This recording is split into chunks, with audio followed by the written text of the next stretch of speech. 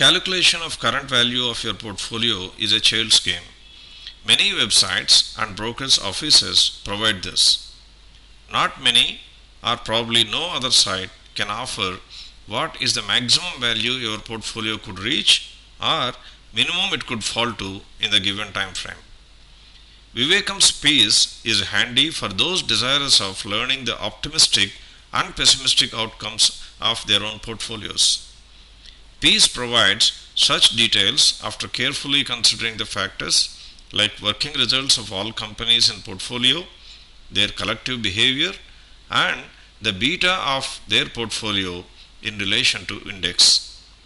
By presenting the data of last 15 months in three separate images, you can see how the peaks and troughs of your portfolio were forecasted by this service.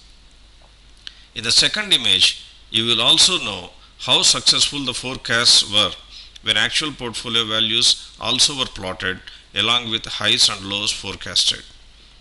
In the last image, you will have an idea of what could be the maximum and minimum value assuming index will not change much. Also assumed for this forecast is that all companies have announced their results.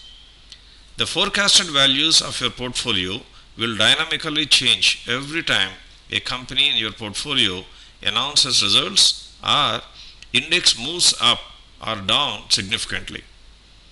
PEAS Alert takes care of all such factors and will help you be informed whenever the values reach peak or trough to initiate appropriate corrective steps.